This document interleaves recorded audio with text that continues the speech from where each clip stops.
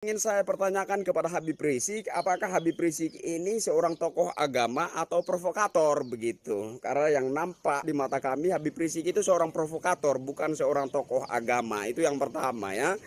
Yang kedua, konon Habib itu adalah keturunan Nabi. Habib itu adalah cucu Nabi.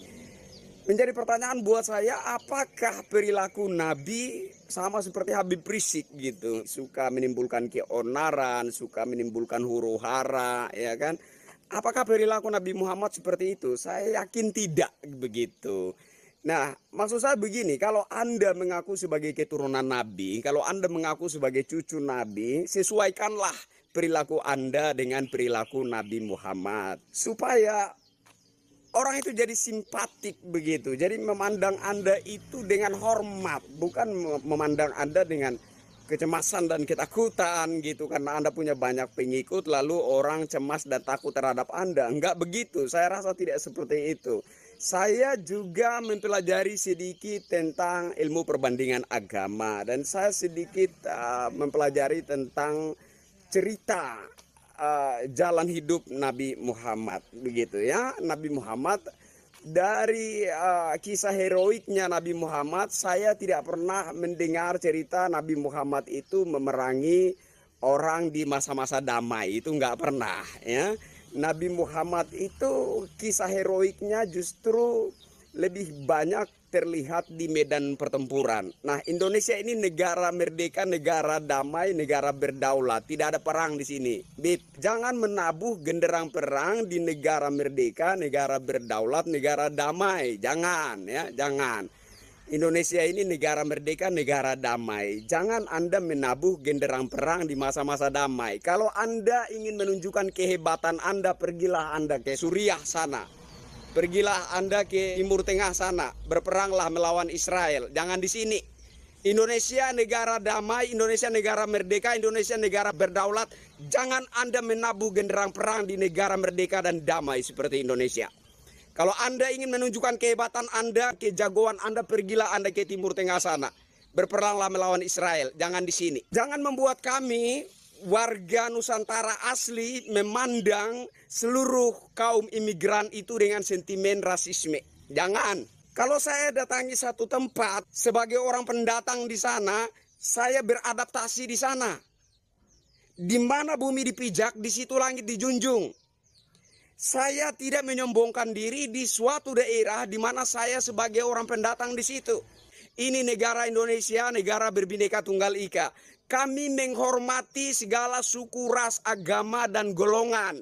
Jangan sampai perilaku segelintir oknum membuat warga asli Nusantara memandang kalian dengan sentimen rasisme. Jangan, jangan, jangan. Apa urusan Anda dengan Jokowi? Apa urusan politik Anda? Seingat saya kemarin Anda bukan pendukung Pak Anies Baswedan. Lalu apa yang membuat Anda sakit hati? Ya? Lalu mengajak umat untuk menyanyikan yel-yel, fufu fafa, fufu fafa, segala macam. Apa kepentingan politik Anda? Yel-yel yang Anda nyanyikan itu, itu receh sekali. itu.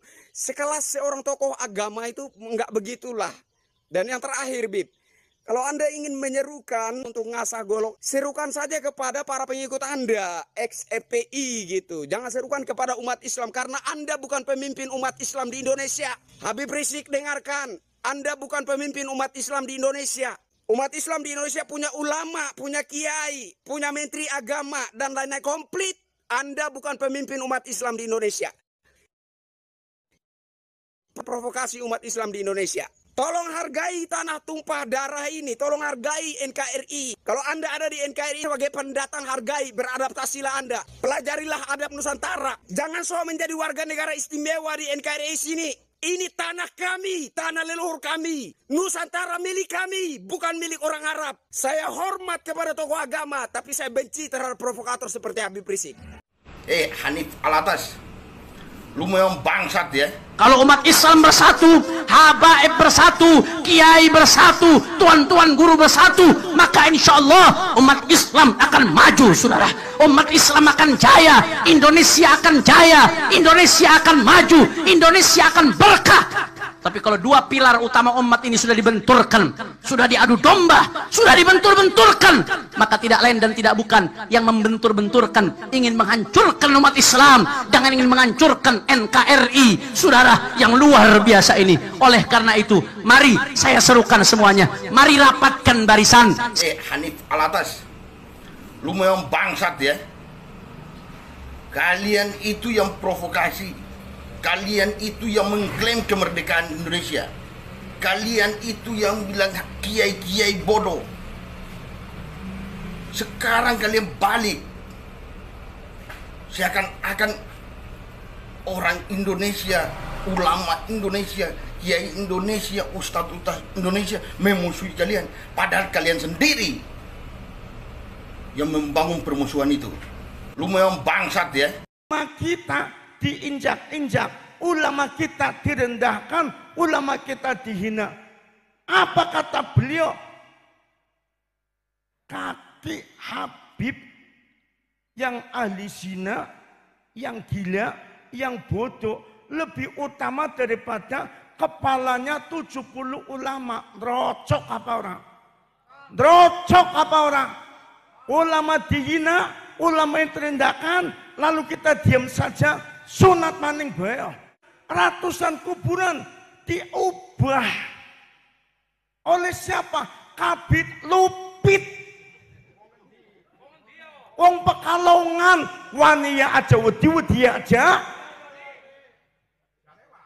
Ratusan kuburan diubah, ujung-ujungnya bin Yahya. Setornya berapa? Uang lima karung setahun sekali. Drocok. Orang wedi dosa sama sekali. Pecine ora ucul warnane putih. Ngalur ngidul sarungan. Sorbanan nempel dan guluk ternyata asu-asu. Sekarang lagi ramai pembahasan mengenai Habib palsu. Habib tipu-tipu. Mengaku turunan Rasulullah. Datang ke Indonesia dari negeri Timur Tengah. Hanya bermodalkan pengakuan sebagai cucu Nabi. Yang jadi pertanyaan, banyak Habib-Habib yang mengaku cucu beliau. Dan kenapa Habib-Habib palsu itu banyak datang ke Indonesia? Karena mereka tahu persis bahwa Muslim di Indonesia paling mudah dibodohi, dan mereka tahu persis kalau mau jualan ayat datang ke Indonesia pasti laku. Cukup bermodalkan hidung mancung, pakai daster, sampai di Indonesia kau dianggap ulama besar. Karena muslim di Indonesia yang penting menggunakan bahasa Arab dianggapnya doa. Orang Arab bilang tubdu tubni wa ana wa ani ru'su tolri turu e asu mentol buri. Muslim di Indonesia bilang amin.